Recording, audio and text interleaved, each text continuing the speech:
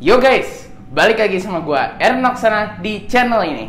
Jadi hari ini tuh kita mau masak lagi, tapi kali ini gue mau ajarin kalian tuh salah satu menu yang bener-bener simple, tapi bisa enak banget dan bisa buat makan sekeluarga. Ini bahan-bahannya sangat murah, tapi bisa untuk kalian makan rame-rame. Yuk, hari ini kita mau bikin tahu cabai garam.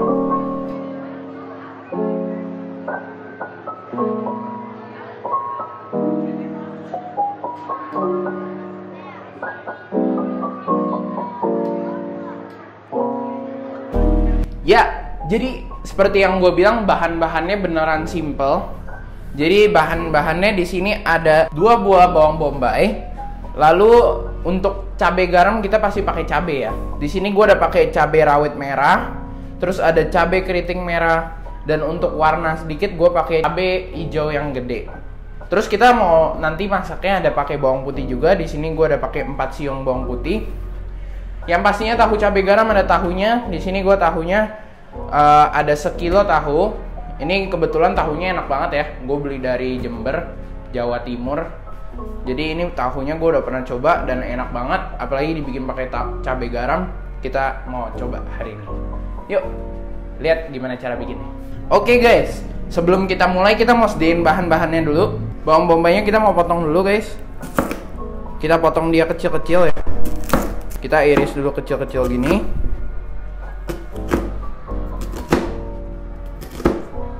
Habis itu kita potong kotak-kotak.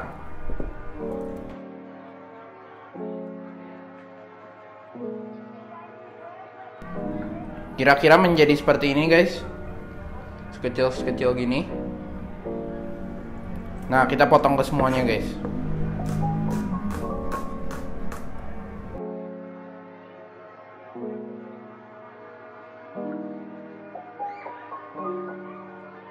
Oke guys, bawang bombaynya dipotong sekecil-kecil ini. Sekarang kita mau potong cabai-cabainya. Kita potong kecil-kecil ya. Tipis-tipis guys, supaya nanti dia kegigitnya gampang. Ini kalau kalian yang suka pedas, makan cabai garam gini enak banget. Tuh, kecil-kecil kayak gini. Ini cabai keritingnya.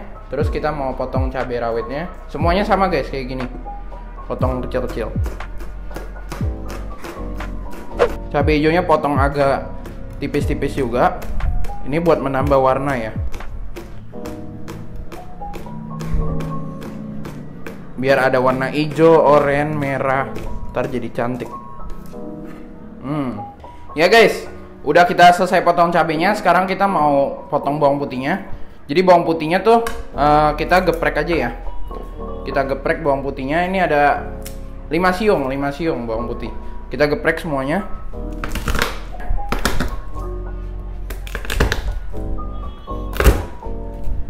Nah, udah kayak gini, kita mau iris kecil-kecil. Oke okay, guys, bawang putihnya tadi kita udah potong halus, nih udah kayak gini. Tadi semua bahannya udah kita potong dan udah siap.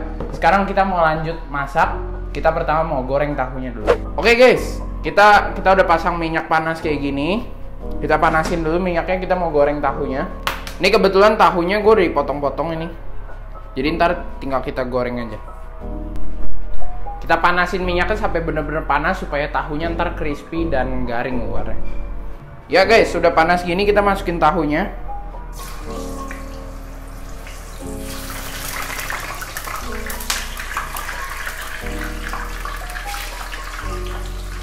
Biasa kan ada yang masaknya dipakein maizena.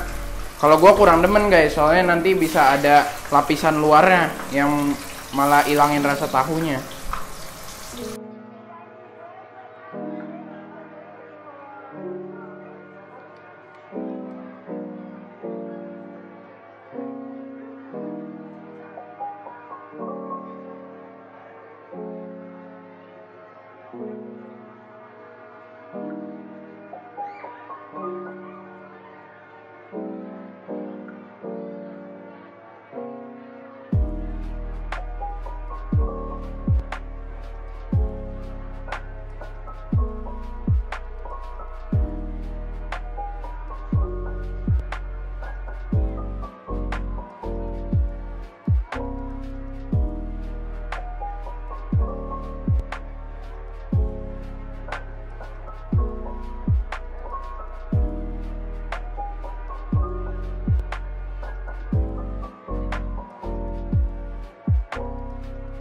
Oke guys, tahunya udah kita goreng, nih udah mateng semua. Jadi minyaknya udah kita tirisin, terus kita sisain sedikit guys buat kita cah tahunya. Buat kita tumis tahunya. Kalau pakai minyak yang tadi bekas goreng tahu lebih enak guys. Soalnya apa? Rasa dari tahunya tuh udah terserap ke minyak ini. Ya, minyaknya udah panas. Kita masukin bawang bombay. Kita masukin semua bawang bombaynya tadi dua biji. Kita masak dulu bawang bombaynya. Bawang putihnya belakangan ya guys. Kita nggak mau bawang putihnya sampai udah kering. Bawang putihnya ntar buat rasa doang di belakang. Kita masak bawang bombaynya sampai agak layu.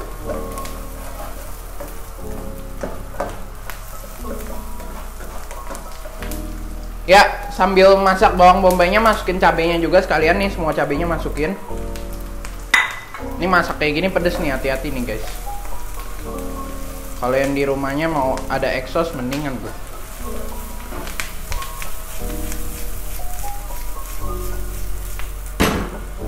Hmm, apinya gede aja guys.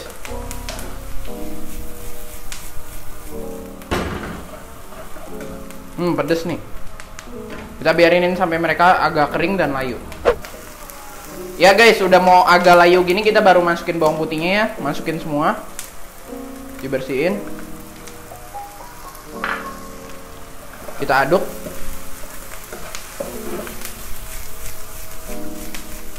Hmm, pedes banget. Lihat, begini aja udah kelihatan rasanya enak. Lalu kita masukin bumbu-bumbunya ada penyedap, garam tadi gue lupa kasih tahu, uh, tapi takarannya di bawah. Kita masukin semua. Garam dan penyedap ya guys. Kita aduk. Kita goreng sampai dia kering. Kita tumis sampai kering.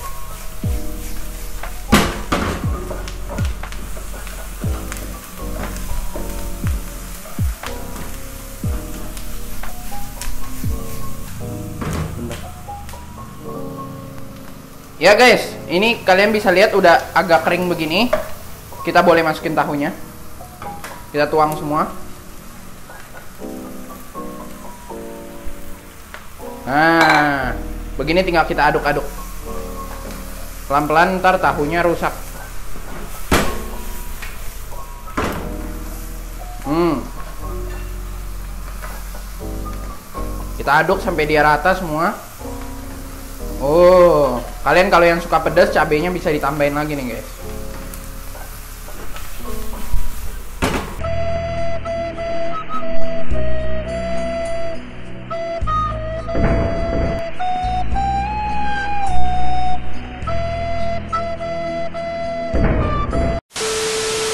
Boleh. Udah begini, jadi masakan kita. Tinggal kita plating.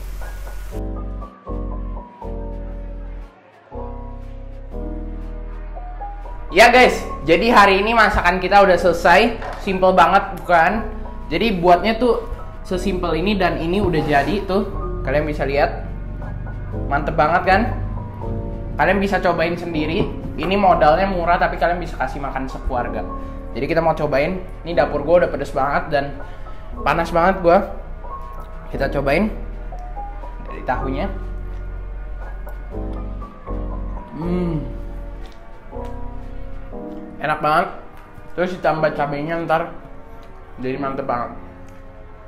Apalagi kalian kalau di rumah pakai nasi panas. Ini gue mau buru-buru makan pakai nasi panas. Ya guys itu aja untuk kali ini. Thank you guys for watching. Jangan lupa kalian cobain resep gue ini. Dan stay tune terus untuk video berikutnya. Subscribe dan jangan lupa klik lonceng agar kalian tidak ketinggalan setiap gue upload video baru. See you guys on next video. Bye bye